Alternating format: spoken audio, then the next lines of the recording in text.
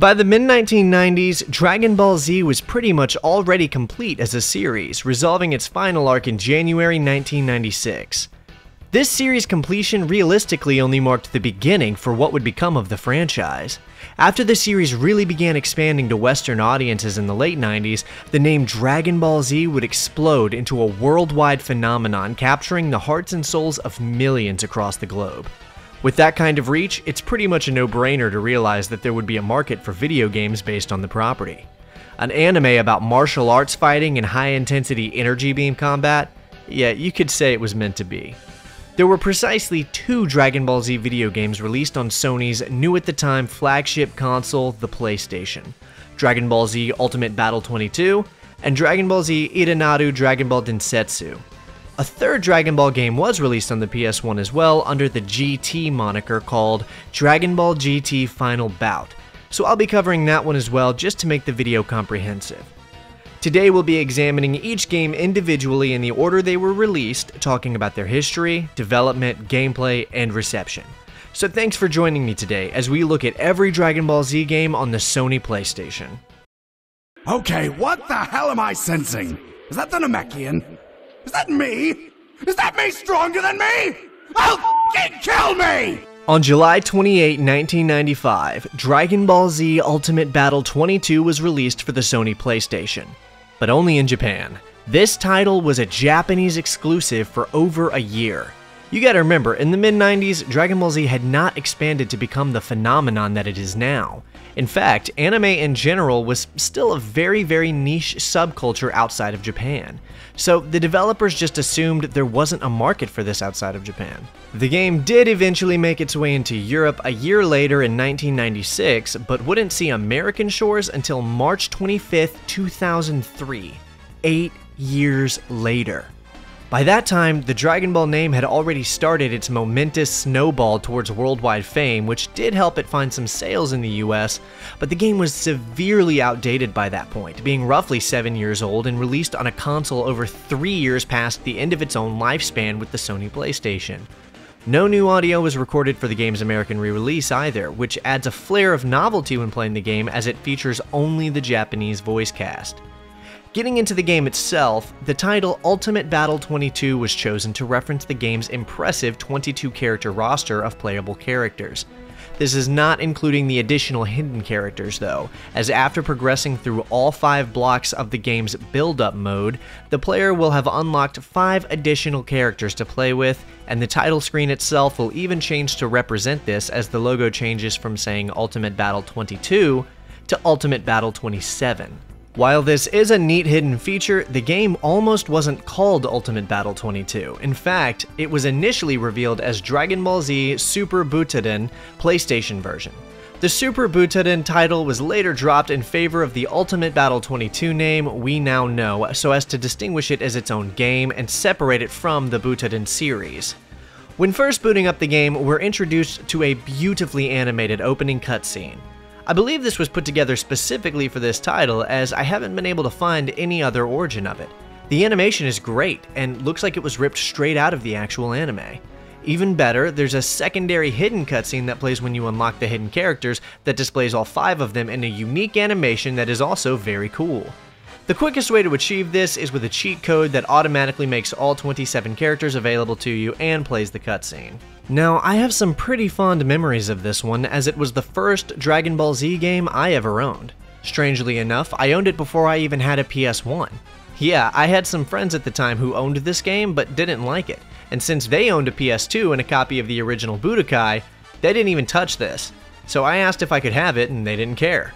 So I had a copy of a game I couldn't even play, but I read the manual a bunch and pored over the cover art. Eventually I talked them into letting me borrow their old PS1 to try the game since, again, they didn't touch it due to having a PS2.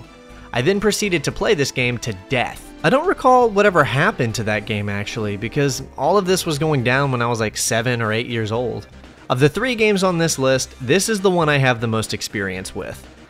Now, there is no narrative or story whatsoever featured in this game. Unlike most DBZ games that allow the player to run through the events of the series, this one has no semblance of story or narrative progression. In place of that, we get something called Build Up Mode, which is very simple in concept but fairly rewarding in practice. Essentially, you pick a character to play who starts at level 1, and then you have to fight your way through the game's roster of characters. Pretty much every character has a different level, and they're all varied in ways that, quite frankly, don't make sense to me. Like, Buu will be a lower level than Frieza, or Cell being weaker than Piccolo, stuff like that.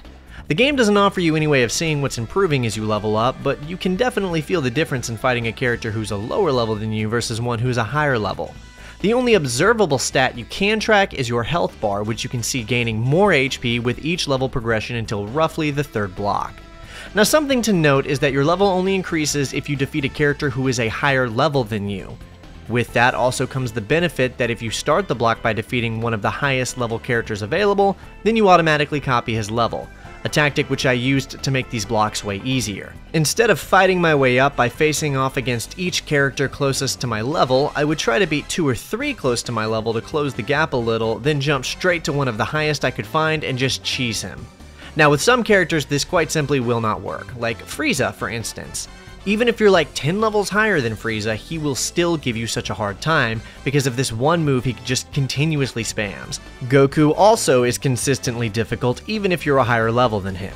At the end of each block, you unlock a new character who acts as a sort of end level boss, and then each subsequent block after that will include a new boss until you overcome all 5 blocks and essentially beat the game. This is the authentic way to unlock these characters, but let me tell you, it's a grind, man. Kid Goku is the first boss you'll face at the end of Block 1, and that is actually such a blessing because he'll always be a higher level than every other character in the block except the following four bosses after him, and he's one of the easiest characters to beat. So from Block 2 onwards, if you just jump straight to beating him, you'll immediately skip right past all 22 default character levels and be able to just go through and slaughter them with ease. If you find him a little too grindy at the start of the block, just go grind a few lower level fights out for that extra strength and health, then try again. He's honestly such an easy fight. Although there are an impressive number of characters to fight with, you'll probably note there's no transformations available. Although a staple of the series, they did not make their way into this game. Instead, we've got each character and their furthest available transformation from that time, with the exception of Goku, who's in his Super Saiyan 2 form, but I'll get to that. So Vegeta, for example, is in his Majin Super Saiyan 2 form. Goten and both iterations of Trunks are in their Super Saiyan form. Gotenks is in his super form as well, but does briefly turn Super Saiyan 3 for one of his special moves. Gohan is in his Super Saiyan 2 form, but Great Saiyaman is not transformed. You get the idea. The exception to this rule is Goku, sort of. He can't transform, but one of the five unlockable characters is Super Saiyan 3 Goku. He's his own character with his own move sets, but he looks as sick as you'd think. Though out of all 27 characters, there is one that struck me as odd. The final boss of build-up mode and the last unlockable character is the fusion between Goku and Vegeta, Vegito. In the series, Goku and Vegeta have to use a special item called the Potara earrings, which combine the body and minds of whoever wears them. Now, if you're looking at the screen right now, you might be thinking, wait, Evan, that isn't Vegito, that's Gogeta. The difference is that Gogeta is the result of performing the fusion dance. Well, dear viewer, you're right, but you're also wrong. This is Vegito, at least according to the game. See? Now you're probably thinking, that's not how Vegito's name is spelled though, his name is canonically spelled with an I. Okay, so probably just a translation error then, right? After all, this was translated in the 90s, not to mention there is a translation that does spell it with an E instead, but that one uses two T's. Well, no, this is definitely supposed to be Vegito because he literally has the final Kamehameha attack, which is Vegito's move. The animation that plays when you unlock the hidden characters shows Goku and Vegeta merging through a beam of light next to their ears, but they don't seem to be wearing the earrings, they're not doing the fusion dance. Well, all of that doesn't matter. The final consensus I found was that this is Gogeta, but was called Vegito in the US release by mistake. Alright, let's get into the gameplay. Since this is a fighting game, you would think that this is going to be the absolute bread and butter here. I mean, it would seem to be the most important factor, but the gameplay itself is honestly the weakest aspect on offer. After playing dozens and dozens of matches, I can tell you that the moves are hard to pull off, the input is weird, and doesn't always react as expected, but the worst of it is that the characters are just totally unbalanced. I see what they were hoping to achieve by having every character feature unique moves to them, but some of these are ridiculous. I'm thinking specifically about the charging move Frieza literally just spams, but there's others, like Piccolo's arm thing, for example. I quickly realized that the move here was to quickly figure out if I'm facing an aggro character or a defense character. Most characters can be overcome by spamming your jump and kick moves repeatedly, but some are just too aggressive for that, and you end up needing to fall back heavy on your block move. This is why it's so crucial to be an equal or higher level than your opponent if possible, because the lower your level, the less effective your block, and you're going to be slaughtered. I think easily the most egregious issue is that your matches will typically be over in 30 seconds or less. Maybe if you're going hard against someone who's a higher level and you're playing defense heavy, it'll stretch out to 60 seconds, but probably not. The good news is that this translates to you being able to blow through a block in roughly 25 minutes, because you'll spend about 30 seconds in menus and 30 seconds in a match for 22 to 27 individual matches depending on the block. So you could realistically beat this game in totality within 3 hours. Of course, that's just leveling up that one character. If you want to do that with all 27 characters, then it becomes significantly more daunting. The music in the game is pretty cool. I'd say it ranges from passable to good, except for one track which just goes unreasonably hard, that being Trunks' theme in the game.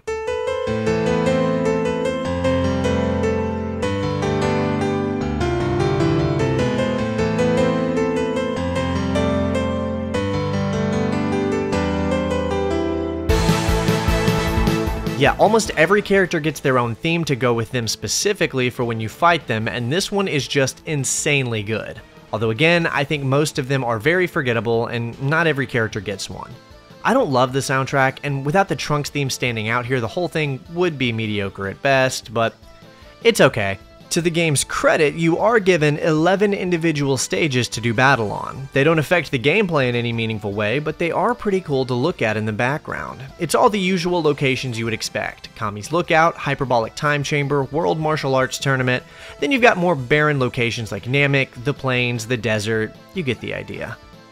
When Ultimate Battle 22 initially released in Japan back in 1995, it was subject to average reviews. No one was exactly gushing over the game, but it did hold up well enough to the competition of the time, so it found its place just fine among the other fighting games of the mid 90s.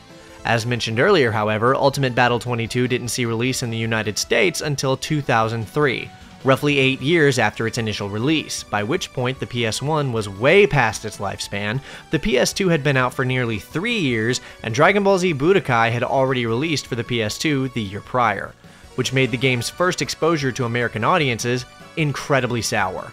Reviewers at the time absolutely destroyed the game, with GameSpot giving it a 1.2 out of 10 and calling it a quote, really, really terrible game, end quote. X-Play on G4 called the game a waste of time and money, and the official US PlayStation magazine gave it a 1 out of 5, literally the worst possible score. And IGN gave it a 4.0 out of 10. One last thing I'd like to mention here before I finish up with this one is that Ultimate Battle 22 features the last ever vocal performance for the original Japanese VA of Master Roshi, Kohei Miyauchi, as he died while the game was being finished. The game mentions his name in the end as a tribute. Rest in peace. The story of Ultimate Battle 22 is very odd, and the decision to even bother with securing a US release 8 years after the fact may not have been a well received one, but I personally am grateful it happened. Yes, Ultimate Battle 22 is a pretty bad game, but it's also the first Dragon Ball Z game I ever owned, and I've got a lot of memories with this quirky little misstep of a title. It fell short in a lot of ways, and it's filled with some very bizarre design choices and development decisions, but when all is said and done, all it was trying to do is be a way to throw some of your favorite characters on a screen and fight with them, like a kid playing with action figures. And to that effect, I think it succeeded in its goal at the very least.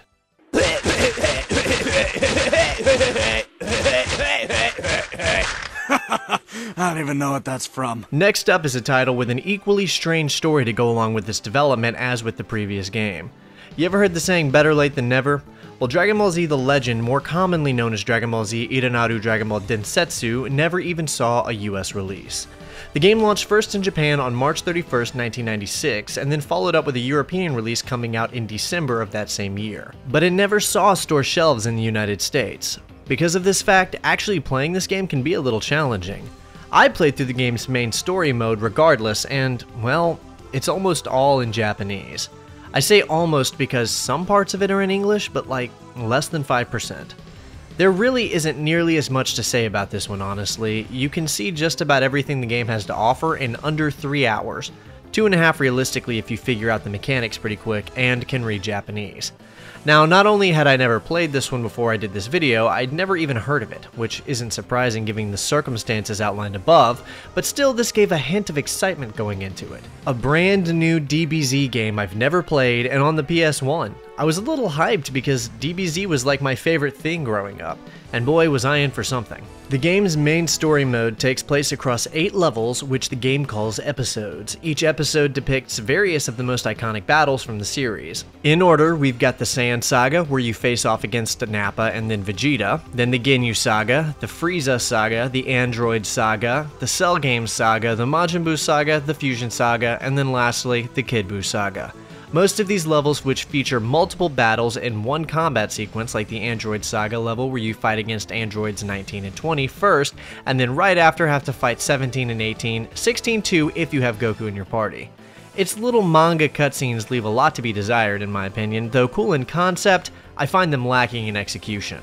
As far as major battles, it's all killer no filler, which means there are some cool skirmishes we'll be missing out on, like any battle with Cell before the final conflict at the Cell games. Most of the big Buu arc battles are there though, and we get to play as Vegito done correctly in appearance and name, so that's a plus. So yeah, they essentially just have you playing through the events of the manga, which is cool, and a nice addition coming from Ultimate Battle 22, which did not have any such mode. It's cool to see the events play out, but then again, it's always cool. A neat note is that before every episode, we're given a little recap to lead into our battle, which uses pages from the manga itself. You'll notice earlier I said you played through the events of the manga, not the anime. This is because unlike most other games, this one really is going for the manga instead of the anime. It doesn't make much of a difference as the two are incredibly similar anyway, but it is a unique little quirk to make the game stand out. If you've been watching this footage wondering what the hell is going on, then let me assure you, the gameplay is about as frantic as the screen implies. Playing this game is an absolute nightmare, man, and I spent the first few levels trying to figure out how to play it, looking things up and really giving it my best shot to learn the mechanics here. Unfortunately, even if you do, it doesn't matter because the mechanics themselves really suck. The best thing I can say here is that it's unique. This game is offering up a Dragon Ball Z experience unlike anything else I've ever seen, and the 3D environments with 2D sprites is indeed ambitious. The multiple people fighting on screen at once is also a really cool idea in concept. In execution, it's really hard to tell what's even going on. Everything you do seems to constantly deplete your ki energy, and it's just so easy for the enemy to lock you into a combo and mess you up that the game stops being fun if you don't kinda cheese it out by abusing the block function.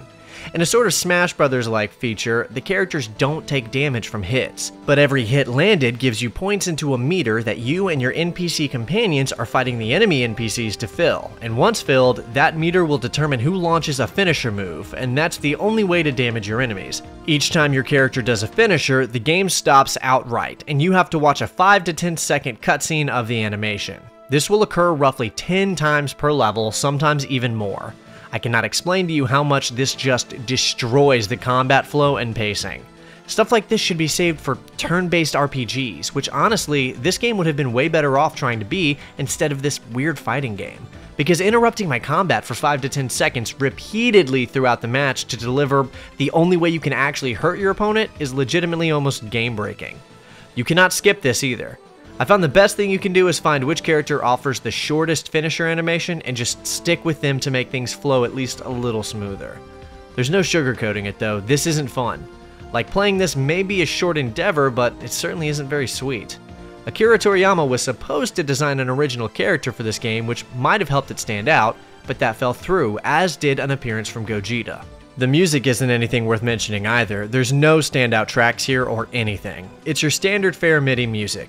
If anything, I'd call it weak. It honestly sounds like the kind of music I'd hear on a Game Boy game, not something I'd expect from a title on the Sony PlayStation. Shockingly, the game was met with generally favorable reviews upon release. It was praised for its large selection of characters and unique blend of strategy and fighting game elements similar to the Psychic Force games. The soundtrack was universally panned as lazy, however. All in all, I feel I can confidently say we here in the US didn't end up missing out on much when this never reached our shores. Now hit my music. Oh, the f with this. Although not technically a Dragon Ball Z game, Dragon Ball GT Final Bout is definitely close enough to make this list, and even more worthy due to it actually being the very first Dragon Ball game ever to see release in North America. Yeah, oddly enough, the first Dragon Ball game us Americans were able to buy was a GT title, which is good enough because it features a plentiful roster of characters from the much acclaimed Z anime. Adding to its list of firsts, Final Bout was also the first game in the Butoden series by Toei Software to be rendered out entirely in 3D, although it would be the last Dragon Ball game released on the PlayStation. Looking at the original cover art, you can see they depict Goku in his GT blue clothes and utilize the Japanese logo for GT. Honestly, this cover art is rough. From a cover art design perspective, this is ugly and bland to look at. They really threw a PNG of Goku on a black background, dropped a blue glow, added an illegible logo, and called it a day. This is a really terrible first impression, but luckily they did end up correcting this issue with the 2002 and 2004 reissues, which featured a new and vastly improved artwork showing Goku in his Super Saiyan 4 form, which is the moneymaker obviously, and used the edgier Americanized GT logo instead and we can actually read the final bout text this time around. Now, I remember playing this at a friend's house as a kid, but not much beyond playing it a few times and knowing Kid Goku was in it. So I was also really excited to get back into this one again after probably two decades and see what it's all about. Final Bout is, in almost every sense, a sequel to Ultimate Battle 22. It was made by the same developers, features the same game modes, and was also received very poorly. You've got your standard battles, your tournament mode for PvP, and the return of the build-up action where you can fight through the entire character roster repeatedly until you've beaten every character. There are some marked differences and improvements, however. For example, the main PvE mode takes you through kind of a story. Well, I mean, there's a final boss if you beat every other character, where you get to face off against Ozaru Baby from GT, which is pretty cool, in theory anyway. It's not exactly a GT game though, as it features more Z characters than it does GT, but it does include a handful of GT characters. We've got both kid and adult Goku variations in his blue GT clothing, Pan, Trunks in his normal and super variation with his GT clothes, and of course, Super Saiyan 4 Goku. Then we also get the baby boss fight if you play all the way through the default versus mode. Other than that, it's really more of a Z game as we get Gohan in his Z clothes, Vegeta in his Buu art clothes, Kid Buu spelled wrong, Cell, Frieza, and even Super Vegito. The character roster is smaller this time around, which they make up for by turning the originally 5 block build-up mode into a grueling 7 block build-up mode. There's a total of 17 available characters after everyone's been unlocked. This is not including Ozaru Baby, as he's not a playable character. It's the same as it was in Ultimate Battle 22 here, where you can pick a character and then play through the blocks to make them stronger and stronger, then face your strong characters off against each other in a battle mode. They've also added these little character select animations where the characters pop up and interact before you load into the match, which is really cool except that they didn't get the real voice actors from the Funimation dub, so this ends up sounding like you bought a Dragon Ball Z game off of Wish. You seem happy. I won't let you interfere. Probably the most frustrating part about the character selection for me is that, as a Vegeta fan, we only have one single iteration to pick from his Super Saiyan 2 form, and it's not even from GT either.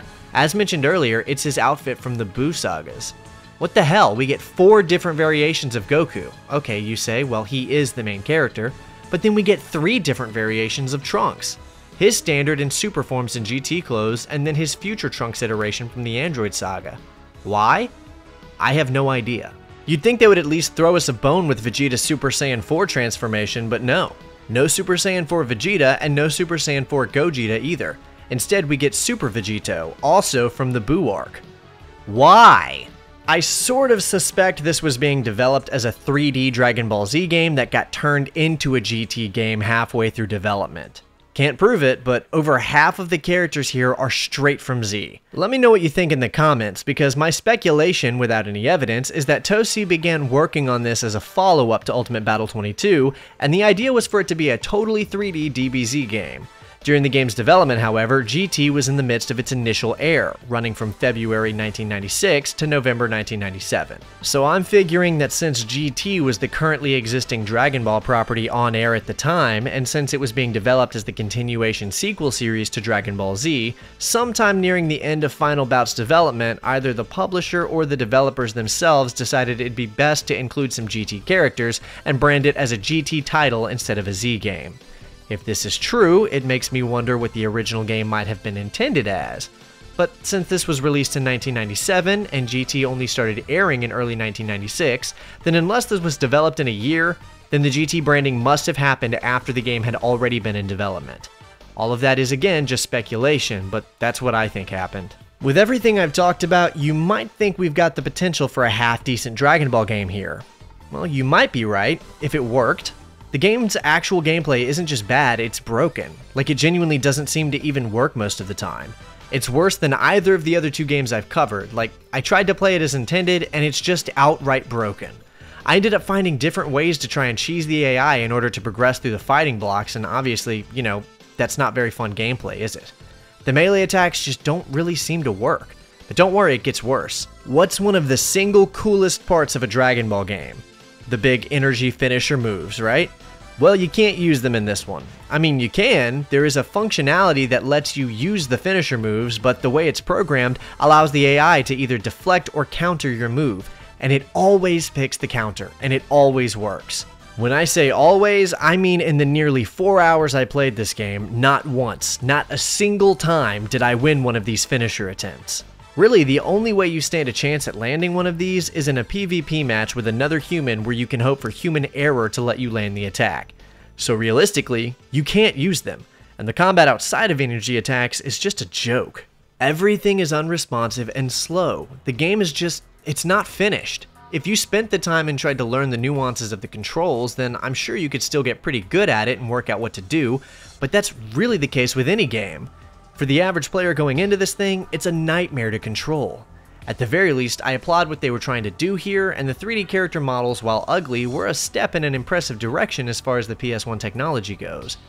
They look close enough to their anime counterparts for the time period, for me, but I saw a lot of criticism towards the game for its character models, so I guess that part is kinda just up to the user to decide. I think they're fine, personally. The music is just as weak this time around as it was previously, featuring several reused themes from the previous game and introducing several even weaker new themes. That one cool Trunks theme from Ultimate Battle 22 is back in a different iteration for when you unlock future Trunks, but that's yet again as good as the soundtrack gets here. I can't believe they justified reusing themes, especially when the soundtracks they're reusing are so weak to begin with. We don't need to have masterpieces here, but something that sounds like fighting music would be nice. How can you justify releasing this with just a handful of new tracks mixed in with reused tracks like this, nearly none of which are good? Come to think of it, maybe this thing was just thrown together in a year. Upon release, Dragon Ball GT Final Bout was not received very well, pretty much for all of my previously stated reasons. While some reviewers tried to put a more positive spin on the game, most criticized its drawn out, overly elaborate meteor moves, the barely functional special attacks, and the downright unresponsive controls. There's a myriad of reasons why people couldn't get into the game, but I'd be willing to bet the biggest one is that it just doesn't even work. Overall, it was a pretty frustrating game to play, but if I'd owned this back as a kid, I can guarantee you I would have poured dozens of hours into building my characters, so there's that. Well, that's it. All three Dragon Ball games for the Sony PlayStation. What you might have garnered from this is that they all suck, and you'd mostly be right. But I feel like I need to mention that back then, people here in the West really didn't even know what Dragon Ball was. It was by no stretch the mainstream phenomenon it was destined to become at this point, but the fanbase was growing and there was an appetite for Dragon Ball Z video games in the West. A call answered by these games, and with them, many memories were made for millions of people who finally had the chance to experience an interactive Dragon Ball title on their home console. They're not the best games, in fact, I would call all of them bad games for the most part, but I mean, come on. Gaming was still finding its footing at this point in general, and there is a certain charm to what these titles were striving to achieve, even if they failed to achieve it. As always, thanks so much for watching, everyone. Going back and playing these games was such a treat, as I grew up obsessed with the series. I don't think I'd recommend trying any of these out for yourself, though, unless you've got some nostalgic value attached, but I still had a lot of fun with them. Do you have any memories with these games? Let me know in the comments what you thought of them. Also be sure to like the video and subscribe to the channel to keep up with my future videos. Again, thanks everyone for watching, and I hope to see you in the next video. Until then, that's all I've got for you.